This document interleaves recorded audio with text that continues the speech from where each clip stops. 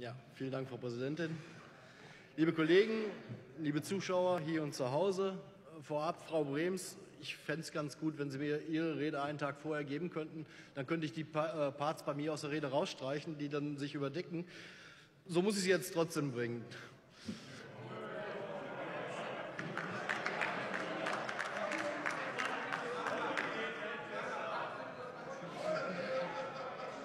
Okay, kommen wir zum Thema.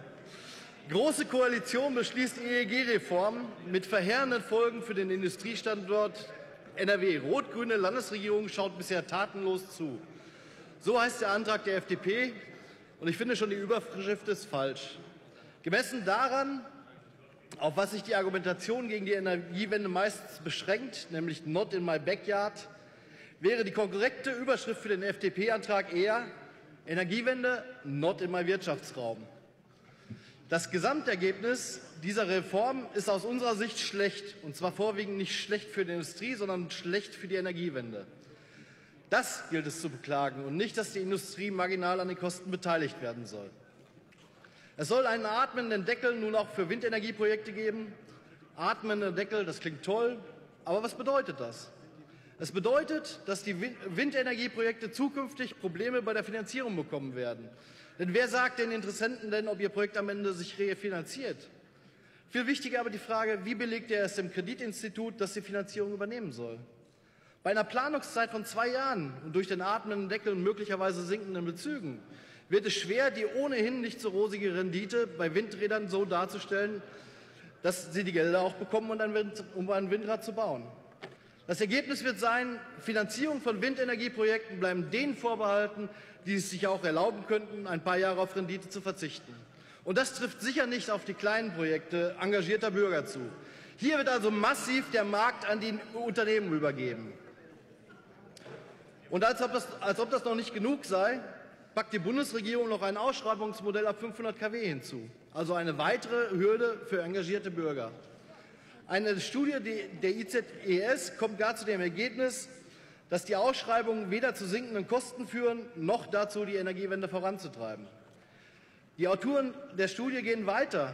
So sagen sie zum Beispiel, kleine und mittelgroße Anbieter haben mit großer Wahrscheinlichkeit keine Chance zur Marktteilnahme. Auch aus dieser Änderung spricht also die tiefe Sehnsucht, die Energiewende nicht dem Bürger zu überlassen. Mit aller Macht soll das Stromoligopol am Leben erhalten werden. Und noch ein Beispiel. Die 10 kW-Grenze für PV beim Eigenstromverbrauch liegt viel zu niedrig. So werden auch da gerade die Zusammenschlüsse zu kleineren Bürgerenergieprojekten aufs Korn genommen. Auch da ruft der Entwurf uns entgegen, der deutschen Industrie gewidmet. Ich sage Ihnen mal was, wie das alles auf mich wirkt. Die Politik hier und in Berlin strampelt sich ab, das sinkende Schiff der Energieerzeuger über Wasser zu halten. Immer wieder werden dazu Arbeitsplätze instrumentalisiert. Immer wieder ist die Rede von wegfallenden Arbeitsplätzen. Aber niemand stellt sich den Realitäten, denn auf lange Sicht werden diese Arbeitsplätze wegfallen. Wir wollen doch die Energiewende. Wir wollen doch weg von den fossilen Energieträgern, oder etwa nicht?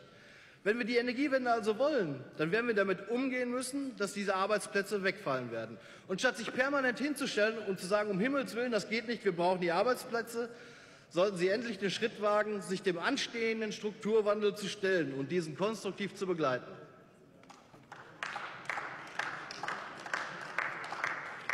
Sorgen Sie jetzt dafür, dass hier in NRW neue Arbeitsplätze in den Zukunftsbranchen der Energiegewinnung entstehen.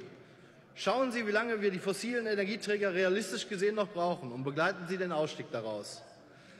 Das dürfen Sie ja von mir aus auch Masterplan nennen, denn das wäre in der Tat mal einer. Ich vermute ja, dass Ihnen die Beteiligung der Kommunen bei RWE weit mehr Sorgen machen als die Arbeitsplätze, die Sie hier immer wieder nach vorne schieben. Aber auch dabei wäre es falsch, das Schiff über Wasser halten zu wollen, weil Sie nämlich kostbare Zeit, verschwenden, äh, Zeit verschwenden. Ich sage Ihnen, wie das aussieht.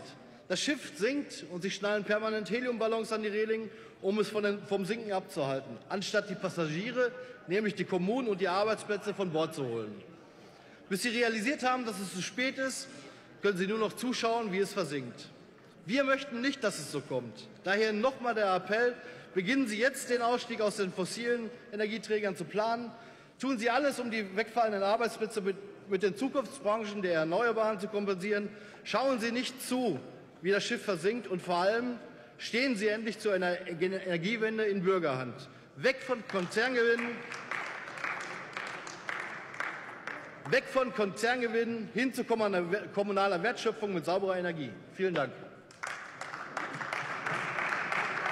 Vielen